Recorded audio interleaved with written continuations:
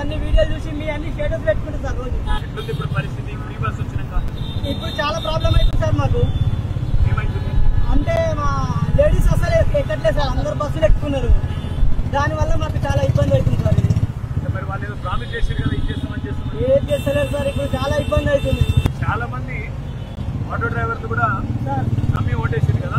అవును సార్ అయితే ఇట్లా అవుతుంది అనుకోలేదు సార్ ఎవరు కానీ ఇప్పుడు చనిపోతుంది సార్ మా డ్రైవర్లు ఒకప్పుడు రైతులు చనిపోతుండే ఇప్పుడు ఆటో డ్రైవర్లు చనిపోతుంది సార్ మన పేపర్లో చూసిన అవును సార్ పద్నాలుగు మంది ఏదో చనిపోయినారు అవును సార్ ఆ మిరియాల కూడా ఒక ఆయన చనిపోయింది సార్. నేను అప్పుడు రోజు పదిహేను వందలు రెండు వేలు చేస్తుంటాం సార్. ఇప్పుడు ఐదు వందలు అవుతుంది సార్. పొద్దున్న నుంచి ఒక టూ హండ్రెడ్ మాత్రమే వేసినాం నేను.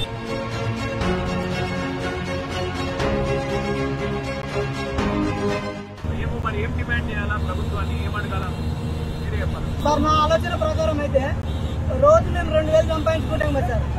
ఆ రోజుకి ఒక పదిహేను వందలు చొప్పున నెలకు ఒక పదిహేను వేలు రోజు ఐదు వందల లాగా నెలకు పదిహేను వేలు అట్లా మాకు రైతులకు ఎట్లా ఇస్తారు మాకు కూడా అట్లా ఇవ్వాలి. తెలంగాణ మొత్తం ఆరు లక్షల మంది ఉంటారంట సార్. మూట కొండూరులు అయితే ఒక పదిహేను వందల మంది ఉంటారు సార్ మండలం మొత్తం మీద. నేను టెన్త్ ఫెయిల్ అయినా సార్ అక్కడ. అప్పుడు నాకు అప్పుడు ఇంత తెలివి లేకుండే. ఉన్నారా? ఆ ఉన్నారు సార్ చాలా మంది కేసీఆర్ సార్ వచ్చిన తర్వాత ఫస్ట్ టైం ట్యాక్సీ మాఫీ చేసారు కదా సార్ అప్పుడు. అప్పటి నుంచి ఆటోలు మంచి సార్ ఎట్లున్నారు సార్? పెద్ద సార్ బాగున్నారు సార్? నిన్న టీవీలో చూసిన సార్ నేను. సార్ చెప్పండి సార్ మా గురించి మా ఇబ్బందులన్నీ. సార్ టీవీలో చూస్తుండొచ్చు కానీ మీరు చెప్పండి సార్ కొంచెం. తప్పకుండా. మేము అందరం కూడా గట్టి కొట్లాడతాం. సరే సార్ సార్.